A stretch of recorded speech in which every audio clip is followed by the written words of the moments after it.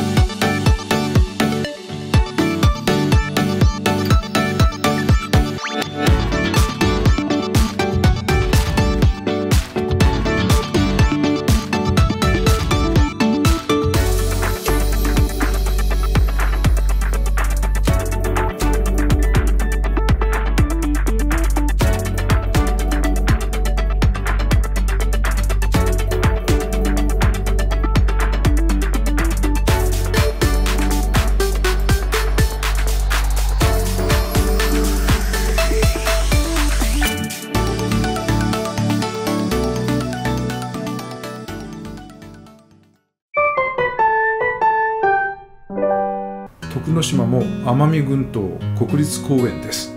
環境省の奄美群島国立公園事務所が徳之島にもあります。ここに電話をして確認をしました。場所は天城町役場の4階にあります。環境省としては特に規制はありません。ということでした。次に海岸線を飛行するので鹿児島県土木部河川課にお電話をしました。確認したところ特に規制はないということでした。ちなみに港の中を飛ばすということであれば鹿児島県の港湾空港課が担当になります。徳之島には3つの町があります。まず電話をしたのは徳之島町おもてなし観光課というところです。徳之島町ではドローンに対する特別な規制はないということでした。また以前はドローンに関する飛行の申請書があったそうですがもう今回からなしにしますって言われました。宿泊施設なんかも温泉とかないかなとか打ち合わせをしたんですけどユーナという温泉施設が最近できててプールとかあるしそこは避けた方がいいと思いますよというようなお話をいただきました。観光地については観光客への配慮をしてくださいねという話でした。それと立ち入り禁止って書いてあるところには入らないでくださいね。まあ当たり前のことなんですけどそういうお話をされました。観光案内のパンフレットを送りましょうかと言われたのでありがたく送っていただくことにしました。今回は奄美諸島機械島奄美大島徳之島沖永良部島各市町村全部電話したんですけどここの徳島町のおもてなし観光課だけがパンフレットを送りましょうかと言ってくれました。さすがおもてなし観光課って名前がついてるだけあるなと思いました。徳之島にも国有林がありますが徳之島では国有林の上は飛ばさないので入林届は出しておりません。徳之島森林事務所といういう現地事務所があります。徳之島には徳之島警察署があります。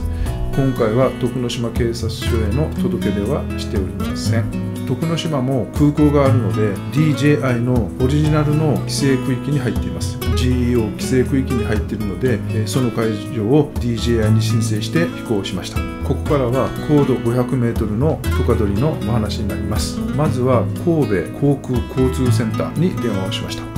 その後鹿児島空港事務所との打ち合わせが必要ということで鹿児島空港と打ち合わせをしています。鹿児島空港では徳之島空港を中心として半径9キロの中高度500メートルのドローン飛行させる場合は民間航空機の離発着を避けてドローンの飛行前飛行後鹿児島空港管制へ連絡を取り合いながら危なくない飛行をさせてくださいねという許可取りになりました。また半径9キロというと徳之島の大体北半分ぐらいが含まれますけどもその残り半分は連絡をせずに許可をもらったら飛ばしていいよということになります。今回は離島といえども結構離発着便ってあるんですね。なので離発着を避けてというのが難しかったので徳之島のだいたい南側半分ぐらいを中心に高度 500m のドローン飛行をしています。半径 9km 以内は緑のゾーン以外であれば 150m 未満で飛ばしていいということだったのでその辺りは 150m 未満で飛ばすことにしました。今回初めてだったんですけどディップスで個別申請の許可をもらった際に関西空港事務所から指示を受けました。まあ1ヶ月ぐらい前に許可を取ったかな。で、えー飛ばす前日までに今回許可をしたところ、まあ、内容というか許可番号とか飛行する場所とか飛行する機体とか飛行する機体の重量とかまあいろいろ指示があるんですけどそれを記載していつから飛ばしますというメールを関西空港事務所にちゃんと出してくださいね。というような初めての指示を受けまして、まあ、実行したんですが初めてのことでした。今からこういうふうになっていくのかは分かりませんけどそういう指示を受けてます。おまけの話です。徳之島でのコンビニですけど伊仙町と天城町にファミマが1軒ずつあります。それと徳之島町にファミマが2軒あります。徳之島町に2泊したんですけど喫茶店がいくつもありました。なので1日目は夜着いたのでそこの喫茶店で食事をしました。2日目の夜はロバタドンタクっていうところに行ったんですけど外から見たらやってんのかなと思ったんですけどドアを開けたらなんと超満員でカウンターに私たちが座れたのが最後であとみんな断られてました。